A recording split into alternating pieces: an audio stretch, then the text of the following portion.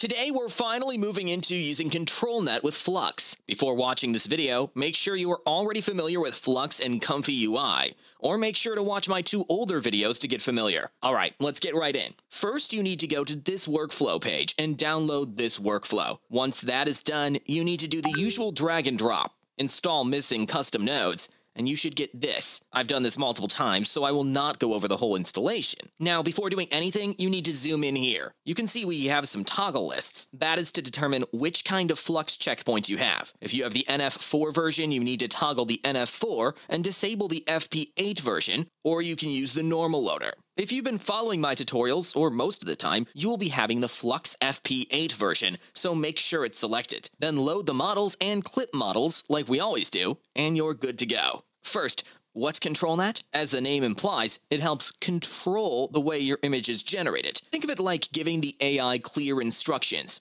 and then telling what you want in the final image.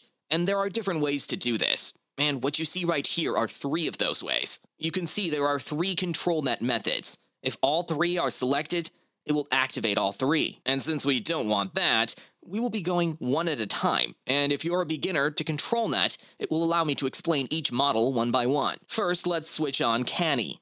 Click on the arrow to move to that box. Now to use this, you need to first upload an image, as I've done right here. Next, for this node, you need to load the model, because for each of these ControlNet methods to work, we need a model. You can download this model from the link in the description by going to this Hugging Face page.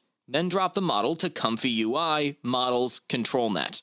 After refreshing, you should be able to select it. Now just write something you want related to the image. In my case, I type, a female knight in a cathedral. Now I hit generate. You can see in the preview image, we get a black and white image.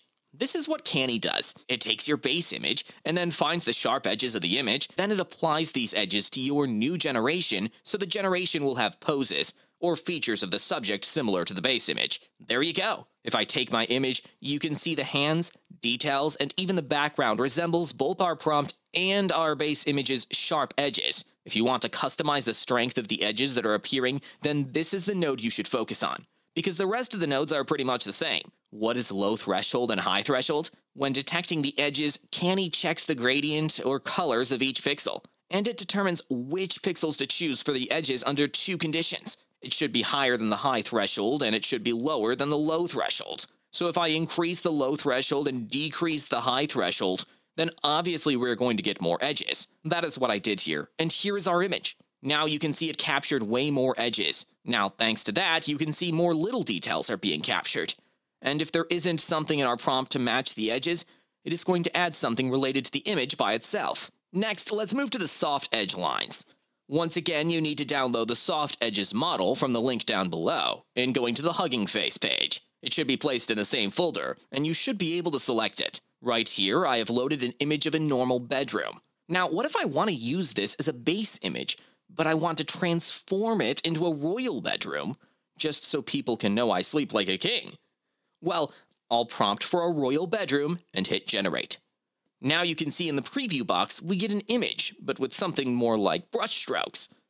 This is very similar to Canny, but SoftEdge has the ability to preserve more details. For example, now in this generated image, you can see we have the basic features. The bed, the curtains, the lighting, the little gap in the ceiling, and even the blankets captured really well. Now to prove my point again, let me load our old image, type the same prompt, and hit generate. You can see in the preview image we have captured more details.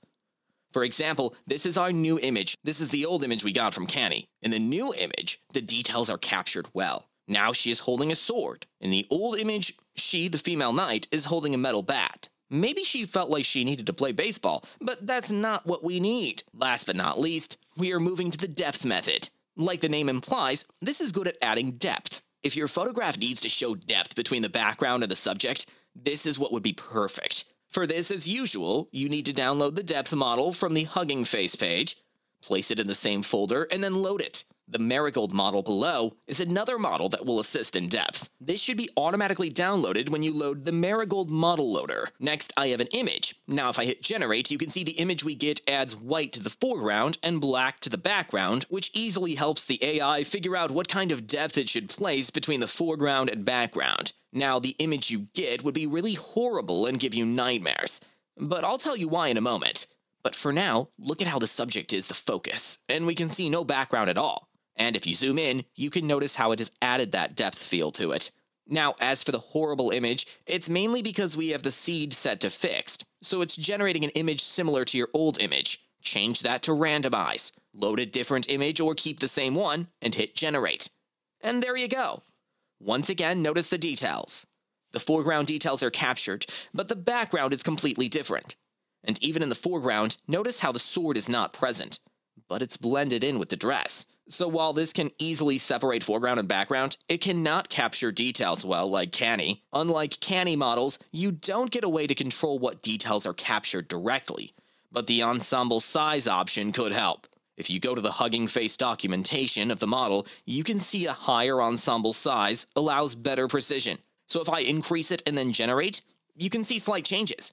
The Use TAESD VAE option actually blends in the VAE more smoothly, and you can see some slight changes in the colors and details. So that is the tutorial for ControlNet with Flux. We still need more ControlNet models to get the artwork we need, but for now I hope this can give some tools to get you started. Throughout this whole lesson, I did not focus on any prompting techniques and kept the prompts simple as possible to just focus on the ControlNet models. If you learned something, make sure to like the video and subscribe. Thanks for watching, and I'll see you all in the next video.